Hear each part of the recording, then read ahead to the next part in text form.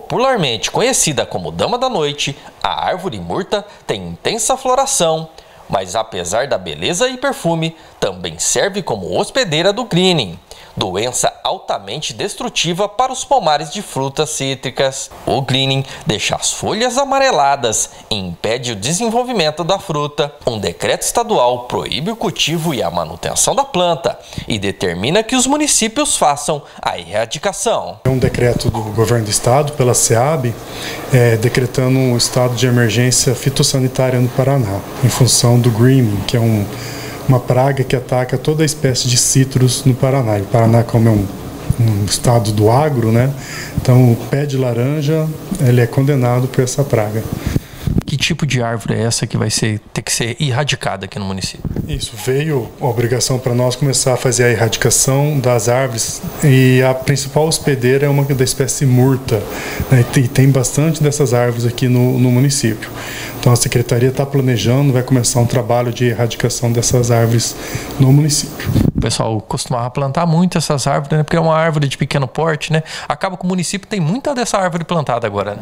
Sim, tem muita dessa árvore, até do plano de arborização que teve, era a segunda árvore que mais tinha no município. Primeiro a civipiruna, depois era da espécie morta. Houve uma época que foi plantado muito dela. Né? Até o município cedia essas mudas. Aí quando descobriu essa essa parte que o, ela é hospedeira de uma praga das citros começou, foi cortado, né, já faz um tempo já que não se distribui mais dessa árvore, mas foi ficando as árvores que já foram plantadas. Então quem quiser já ver para erradicar, o próprio município pode fazer, a gente só pede para vir aqui na secretaria ou pelo site pedir autorização de corte. A gente vai, claro que a gente vai autorizar e até a gente está vendo para ceder a muda para a pessoa fazer o replantio. A destoca também a gente está querendo ajudar para estar tá fazendo também. E aquele município, município que não tem condições de arrancar a árvore ali, vocês vão fazer essa retirada? A gente vai fazer. Né?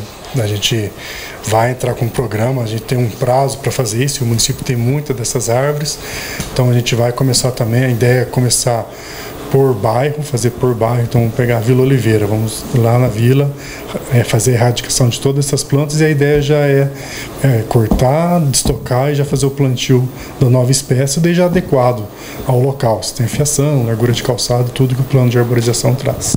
Então já fica aí a dica, né? Quem tiver muda desse tipo de árvore, nem adianta plantar. Sim, a murta não precisa plantar. E também tem as espécies citros. Quem tiver já pode até cortar também a, esses pés de limão, apesar que de um tempo para cá quem tinha já perdeu tudo essas árvores. É muito difícil de encontrar um pé de limão, tangerina, qualquer fruta cítrica, está bem difícil de encontrar porque foi uma praga, esse greening acabou com todas as plantas que nós tínhamos aqui, praticamente tudo já foi eliminado.